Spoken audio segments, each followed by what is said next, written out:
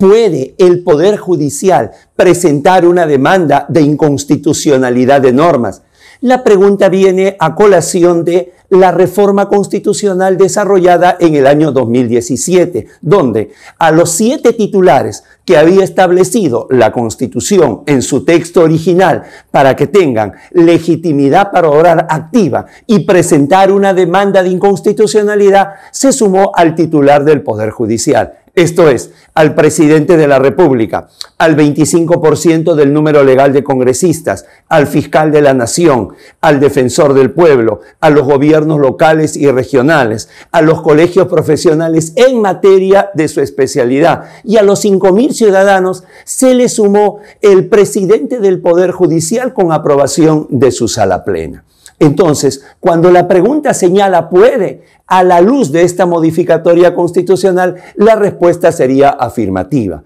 A la luz de una mirada absolutamente constitucional, la respuesta sería negativa. No debe, porque en primer lugar, el proceso de inconstitucionalidad es de la acción más restringida posible. ¿Por qué? Porque se presume la constitucionalidad de una norma.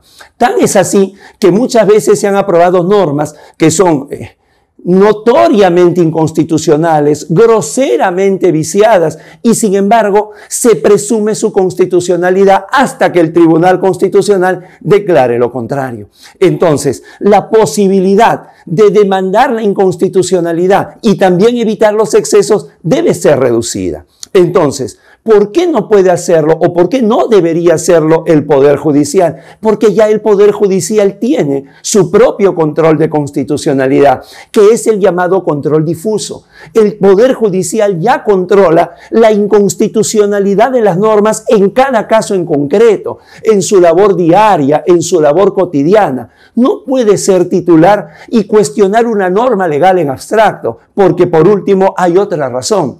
La teoría, el principio de separación de poderes. Esto es, si el Poder Judicial es capaz de cuestionar una norma dada por el Ejecutivo y el, o el Legislativo, estaríamos abriendo la puerta para que en algún momento los poderes políticos, los poderes mayoritarios, también puedan cuestionar una decisión del Poder Judicial e incumplirla. Entonces, nuevamente, ¿Puede el Poder Judicial presentar una demanda de inconstitucionalidad en las normas según la reforma constitucional? Sí. Empero, estamos ante una reforma constitucional inconstitucional. ¿Por qué? Porque el Poder Judicial ya tiene el control difuso y con esta modificatoria rompería el principio de separación de poderes. Aguardo les pueda ayudar en algo. Muchísimas gracias. Permiso.